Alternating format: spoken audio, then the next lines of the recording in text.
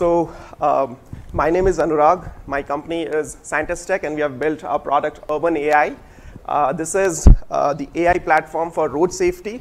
Uh, uh, we, we launched in September. We tried out different pilots in Hyderabad and all, and uh, we won some recognition for that. Right now, we are running live uh, around Delhi bypass in Hyderabad and in Rohtak. And what we do, we create road safety maps using street cameras.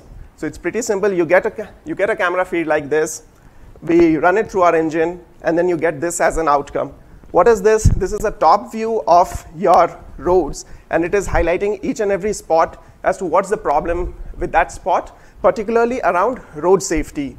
So, so, uh, so let me give a context to road safety.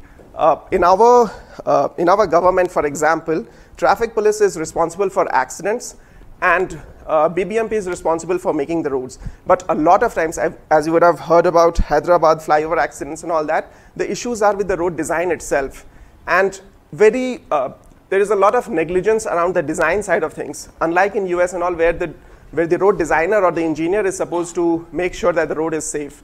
So we create, uh, we create something like this, and we have many views uh, showing hotspots for accidents, uh, conflicts where uh, bicyclists are unsafe, where are, uh, you know, where are unauthorized parking, where do you have, uh, let's say, where are pedestrians finding it hard to cross. Why is this? For example, here you can clearly see the zebra crossing is made, and here you have uh, blue is lower speed, green is, uh, red is higher speed. You have this zebra crossing which is safe because vehicles are slow here, but here you have uh, vehicles moving at a higher speed. So you can see these kind of issues, and this is not at all done uh, right now in India. It's like something happened there, somebody comes with an anecdotal